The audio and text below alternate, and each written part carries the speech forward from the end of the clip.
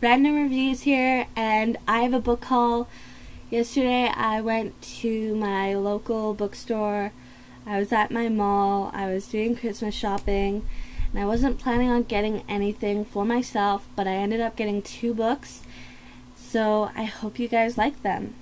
The first one I picked up, it says, I am neurotic and so are you. It's by Lianna Kong, I believe is how you pronounce it. So the author is actually um, she has neuroses, and basically she created a website www.imneurotic.com where people who have neuroses can basically write them down on paper and basically others that have neuroses can basically uh, they can kind of just have fun with each other so some of them include, um, here's one. Before I go to sleep at night, I must make sure that the sheets are tucked in just right. The bedspread can't be wrinkled, and it must all be perfectly even before I get into bed. I even wait until my girlfriend's asleep and then fix the sheets with her in the bed.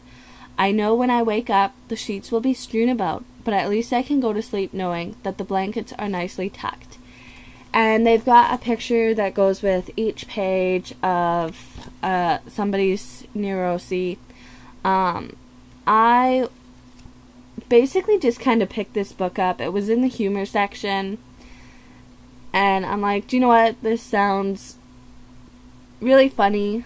Um, she says here that everybody will find out that they actually um, that they actually do have a bit of neuros, neurotic um, tendencies. I don't think so, but you never know.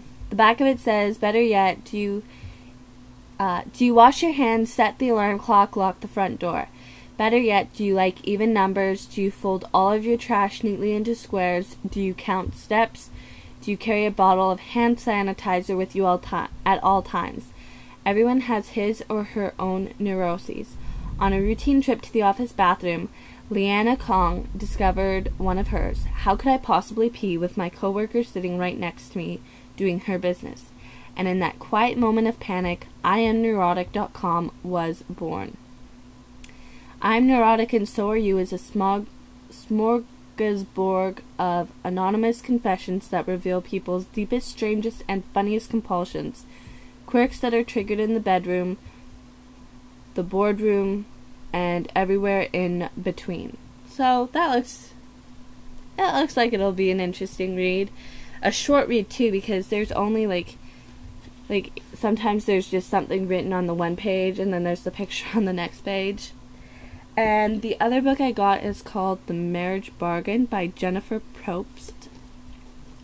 It says a marriage in name only to save her family home, impulsive bookstore owner, owner Alexa Maria McKenzie cast a love spell, but she never planned on conjuring up her boy- best friend's older brother, the powerful man who once shattered her heart.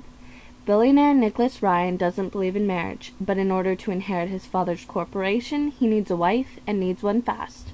When he discovers his sister's childhood friend is in dire financial straits, he offers Alexa a bold proposition a marriage in name only with certain rules. Avoid entanglement, keep things all business, do not fall in love. The arrangement is only for a year, so the rules shouldn't be that hard to follow, right?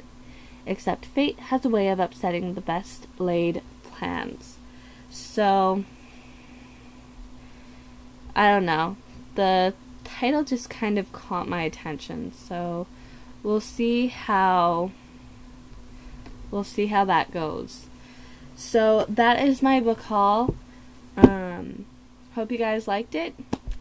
I know it's not as huge as my last haul, but I'm hopeful never, ever, ever to have a book haul that big again. So, go and pick up a random book and read. Bye, guys.